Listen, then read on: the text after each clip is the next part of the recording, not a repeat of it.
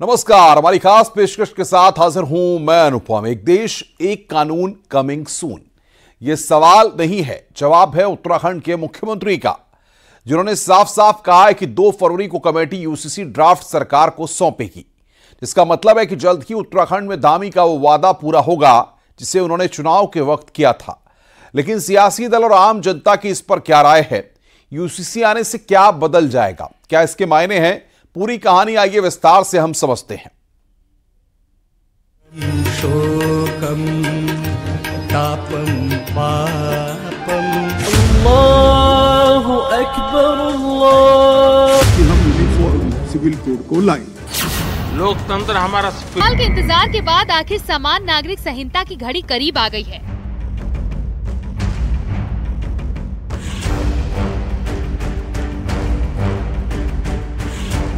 बैठकों का दौर खत्म हो चुका। मंथन में निकला है एक देश एक कानून का सार। देश भी यूसीसी के लिए है तैयार। रायशुमारी का दौर बीत गया। ड्राफ्ट तैयार हो चुका है। बस इंतज़ार है उस घड़ी का, जब देश में यूसीसी कानून की शक्ल लेगा। उन्होंने हमको बताया है कि दो तारीख को वो हमको ड्राफ्ट दे देंगे और उनका ड्राफ्ट देने के बाद उसका आकलन करेंगे, उसको मंत्रिमंडल में लाएँगे, उसके बाद विधानसभा में, जो विधेयक बनने की दिशा में, एक्ट बनने की दिशा में जो कार्रवाई होती है, उस कार्रवाई को हम आगे बढ़ाएँगे। धर्म के नाम पर अपने अपने कानून बताने वालों के दिन लगने वाले हैं।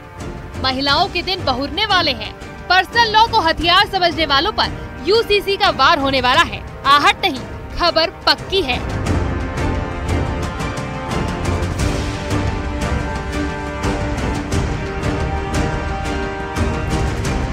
उत्तराखंड सरकार ने यूसीसी का ड्राफ्ट तैयार कर लिया है। 143 जगहों पर बैठक और संगठनों से सुझाव के आधार पर वो मसौदा तैयार किया है, जिसमें यूनिफॉर्म सिविल कोड की एबीसीडी है। अब इंतज़ार है 2 फरवरी का। 2 फरवरी को कमेटी सरकार को ड्राफ्ट सौंपेगी। रिपोर्ट मिलते ही उसे लागू करने की प्रक्रिया शुरू हो जाएगी। यानी जल्द ही उत्तराखंड वो राज्य बन जाएगा, जहाँ यूसीसी लागू है।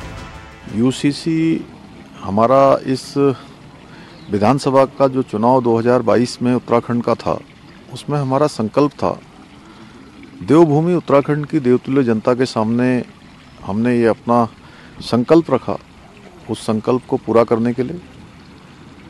देवभूमि की जनता ने हमको आशीर्वाद दिया, सरकार में आने का मौका दिया और हमने ड्राफ्ट बनाने के लिए कमेटी का गठन किया। कमेटी ने अपना काम पूरा कर लिया है और उन्होंने हमको बताया है कि दो तारीख को वो हमको ड्राफ्ट दे देंगे। धाकड़ धामी का फैसला इतिहास बनाने वाला है। अब यूसीसी की धमक उत्तराखंड में सुनाई देने लगी। देवभूमि की जनता भी इसका खुले दिल से स्वागत कर रही है। लेकिन कुछ लोग ऐसे हैं जिनके पेट पर सांप लौटने लगे हैं। यूसीसी का नाम सुनते ही तमाम कट्टरपंथियों की नींद उड़ गई। तो कई सियासी दलों ने भी कॉमन सिविल कोड पर सियासत शुरू कर दी। यूसीसी के अंदर कुरान और हदीस की रोशनी से मुखालिफ बातें होंगी या कुरान में जो कुछ हमें हुक्म दिया गया है, उसके ख़िलाफ़ कोई बात होगी तो हम यूसीसी हरगिज़ नहीं मानेंगे। हम कुरान और हदीस को मानने वाले लोग हैं, ईमान पे चलने वाले लोग हैं, और ईमान की खातिर हम कुछ भी कर सकते हैं। यूसीसी को लागू करने की पूरी तैयारी मुकम्मल कर ली है तो इस सिलसिले में मुसलमानों का नज़रिया स्पष्ट है। शरीयत के उसूलों का लिहाज पास किया गया है तो हमें यूसीसी पर कोई एतराज़ नहीं है, कोई आपत्ति नहीं है।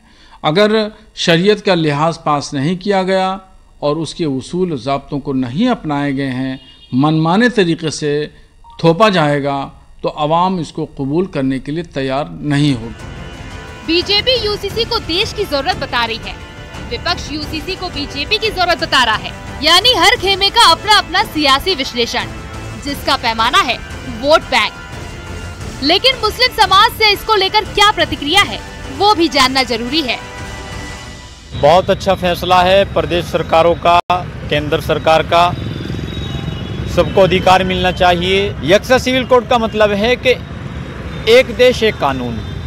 सबको बराबर का अधिकार मिले। चाहे वो सिख हो, चाहे वो मुस्लिम हो, चाहे वो ईसाई हो, चाहे वो पारसी हो, चाहे वो यहूदी हो, तमाम लोगों को एक अधिकार मिले। हम इसके पक्ष में हैं, जमीयत हिमातुल इस्लाम इसके पक्ष में है। मुस्लिम शरीयत का हवाला दे रहे हैं।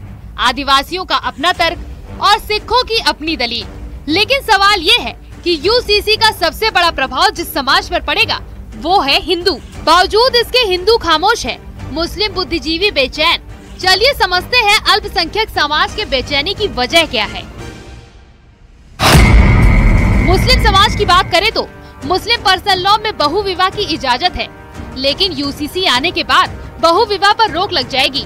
शरीयत में बच्चा गोद लेने का रिवाज नहीं है, लेकिन यूसीसी आने के बाद मुस्लिमों पर भी बच्चा लेने के गोद का समान नियम लागू होगा, यानी मुस्लिम भी बच्चा गोद ले सकेंगे। मुस्लिम पर्सनल लॉ के मुताबिक विरासत पर बेटे का हक होता है लेकिन यूसीसी आने के बाद बेटा बेटी दोनों का बराबर हक होगा। मुस्लिमों में अभी करीबी रिश्तेदार में ही शादी मंजूर हो जाती है लेकिन यूसीसी के बाद परिवार में शादी नहीं करने का प्रावधान होने की संभावना है। मुस्लिम समाज में अभी हलाला और इद्दत जैसे कुप्रथाएँ जारी हैं, लेकिन यूसीसी के बाद इन पर रोक भी लग जाएगी। यही वजह है कि मुस्लिम समाज के कुछ बुद्धिजीवी यूसीसी पर हवा खड़ा कर विरोध के बहाने लोगों को भड़काने का काम कर रहे हैं। ऐसा नहीं है। कि यूसीसी आने के बाद सिर्फ़ मुस्लिम पर्सनल लॉ का अस्तित्व ही खत्म होगा बल्कि हिंदू के पर्सनल लॉ और उससे जुड़े कानून खत्म हो जाएँगे।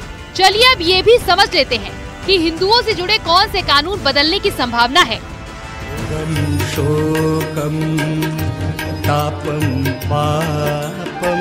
अल्लाहु अकबर अल्लाह। कि हम यूनिफॉर्म सिविल कोड को लाएँगे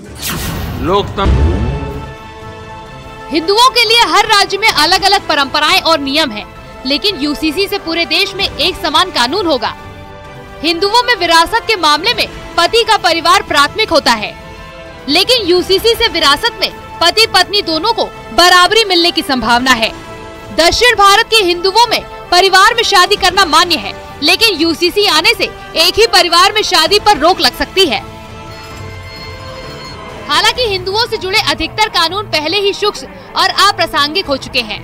यही वजह है कि हिंदू समाज यूसीसी का खुलकर स्वागत कर रहा है। जब देश एक है तो सारे रूल रेगुलेशन भी सबके लिए एक जैसे होने चाहिए। स्पेशली जो दूसरे धर्म के लोग हैं तो उनके लिए भी ये बहुत अच्छा है। जैसे उनके तीन तलाक वाले मामले सुनने में आते हैं। जितने भी समुदाय के जाति के लोग हैं उन सबको ही एक जगह एकजुट एक कानून के अंतर्गत लाया जाएगा। जैसे तीन तलाक मुस्लिम विरोधी जो जो भी मतलब गतिविधियाँ हैं महिलाओं का शोषण जो है उन सबको इसमें बहुत सी राहत मिलेंगी। मुस्लिमों के अलावा सिख और आदिवासी समुदाय भी यूसीसी का विरोध कर रहा है। क्योंकि आदिवासियों के अपने कानून हैं, अपनी परंपराएँ, लेकिन यूसीसी लागू होने से उनकी दुनिया भी काफ़ी बदल जाएगी। जैसे कि कई आदिवासी समुदायों को संविधान में छूट मिली है लेकिन यूसीसी होने के बाद पूरे देश में एक जैसा कानून होगा। आदिवासियों के कई समुदायों में बहु विवाह की परमिशन है लेकिन यूसीसी आने से बहु विवाह भी गैर कानूनी होगा। कई आदिवासी समुदाय में मातृ कुल मूलक है जबकि यूसीसी के बाद इन आदिवासी परिवारों में भी पति पत्नी को बराबरी का अधिकार मिल जाएगा। लेकिन सवाल ये है कि जब देश एक है, संविधान एक है, फिर धर्म और समुदायों के नाम पर अलग अलग कानून क्यों? लोकतंत्र हमारा स्पिरिट है। लोकतंत्र हमारी रगों में है। लोकतंत्र को हम जीते हैं और हमारी सरकार लोकतंत्र के मूलभूत मूल्यों को आधार लेकर के बने हुए संविधान के आधार पर चलती है। तमाम विरोध के बावजूद केंद्र की मोदी सरकार देश हित में सख्त फैसले लेने के लिए जानी जाती है। केंद्रीय मंत्री अमित शाह ने महीनों पहले साफ़ कर दिया था कि देश में यूसीसी लागू होगा और ज़रूर होगा। 1950 से हमारे हर घोषणा पत्र में है कि हम यूनिफॉर्म सिविल कोड को लाएँगे। संविधान सभा ने भी आर्टिकल 44 के अंदर कहा है कि देश के विधानमंडलों ने और देश की संसद ने जब भी अनुकूलता हो तब यूनिफॉर्म सिविल कोड लाना चाहिए। और क्या गोवा में common civil code uniform civil code नहीं है? क्यों आपत्ति हो रही है? क्या मध्य प्रदेश में यूनिफॉर्म सिविल कोड नहीं है? क्यों आपत्ति हो रही है? चूँकि यूसीसी का ट्रायल फ़ेज़ उत्तराखंड से शुरू होना है। सबसे पहले धामी सरकार यूसीसी लागू करने की बात कर रही है। लिहाजा ये समझ लेना भी ज़रूरी है। कि उत्तराखंड के यूसीसी के ड्राफ्ट में क्या है? सूत्रों की माने तो ड्राफ्ट के मुताबिक, शादी के लिए लड़कियों की उम्र सीमा बढ़ेगी। शादी का रजिस्ट्रेशन अनिवार्य कर दिया जाएगा। बिना रजिस्ट्रेशन सरकारी योजनाओं का लाभ नहीं मिल पाएगा। हलाला और इद्दत पूरी तरह प्रतिबंधित हो जाएगा। संपत्ति में बेटे बेटियों को बराबर का हक मिलेगा। पति पत्नी को तलाक का कानूनी अधिकार होगा। माता पिता को लिव इन रिलेशन की जानकारी देनी होगी। यानी यूसीसी आया तो बेटियों के दिन बहुरेंगे। उन्हें घर से लेकर जायदाद तक में बराबरी का अधिकार मिलेगा। हलाला और इद्दत जैसी कुप्रथाओं के दंश से आज़ादी और भी बहुत कुछ बदलने वाला है। जनसंघ के दौर से बीजेपी के कोर एजेंडे में रही यूसीसी को बाहर लाने का और अमली जामा पहनाने का क्रेडिट मुख्यमंत्री धामी को जाता है। 2022 के विधानसभा चुनाव में जाने से पहले उन्होंने इसका वादा किया था। और अब लोकसभा चुनाव से पहले सरकार इसे पूरा करने जा रही है। लिहाजा उत्तराखंड की सियासत गर्मा गई है। हालाँकि सियासी दल भी फूक फूक कर प्रतिक्रिया दे रहे हैं। कांग्रेस मसौदा पढ़ने की बात कहती है तो समाजवादी पार्टी ने इसे चुनावी स्टंट करार दिया है। कई बार जो है कहते हैं कि ड्राफ्ट बन करके तैयार हो गया है और हम इस सत्र में इसको लाएँगे, इस सत्र में हम लाएँगे, लगातार तिथियाँ बढ़ रही है।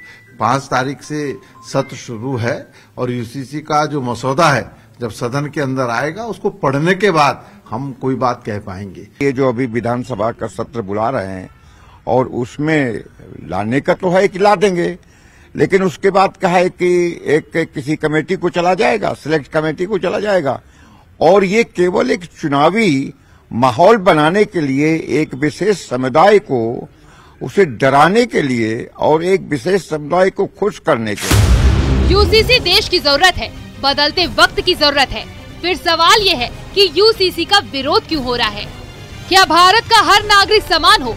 सबके लिए एक कानून हो? क्या कुछ लोगों को इससे किसी तरह की सियासी अड़चन की आशंका है? आखिर तुष्टिकरण से संतुष्टिकरण की तरफ़ बढ़ रहा भारत किसके लिए परेशानी का सबब है? Bureau report, news eighteen.